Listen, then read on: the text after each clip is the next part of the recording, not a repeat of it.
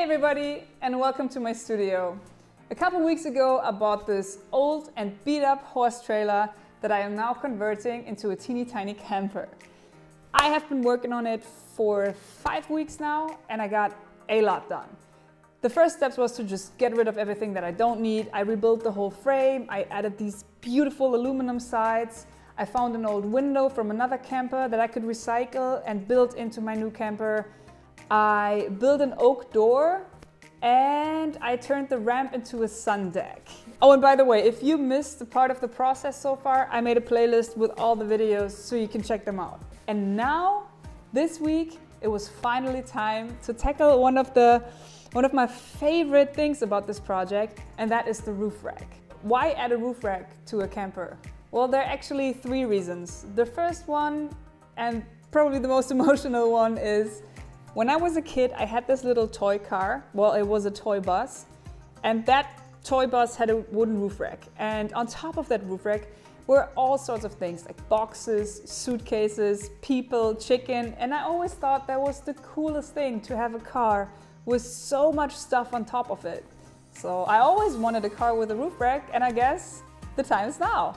And the second reason, of course, is the actual storage space, less emotional, more practical, it's a very tiny camper, so to have that extra space on top of the roof is probably very, very helpful. And the third reason is it's the perfect place for my Goal Zero solar panel. By having it mounted on top of the trailer all the time, it means I don't have to worry about setting it up at all. It's just always there. It's always collecting sun power, even when I'm driving. Well, enough of the theory. Let's take a look at the progress.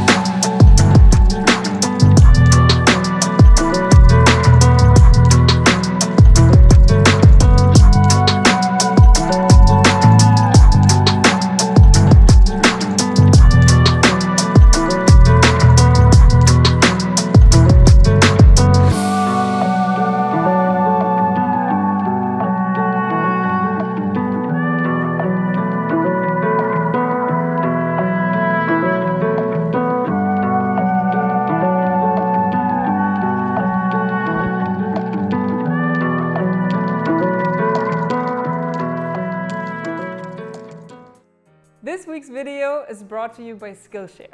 Skillshare, of course, is an online learning community with thousands of classes for creative and or curious people. One class that I'm very interested in is from Andy J. Pizza and is called Make Creativity Your Career. Take a look. I think it's Dolly Parton that said art is really about knowing who you are and doing it on purpose.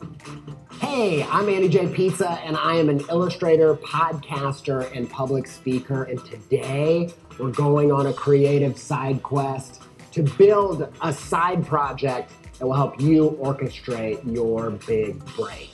There's nothing more essential than that big break moment. If you are interested in this class or classes like this, go and click the link in the description below. The first 1,000 people will get two months of free premium membership with Skillshare. After that, the membership will be around 10 bucks a month. I want to thank Skillshare for their fantastic ongoing support. And of course, I want to thank you guys for watching and I will see you next week with a new video. And I want to say one more time, pizza! Thank you.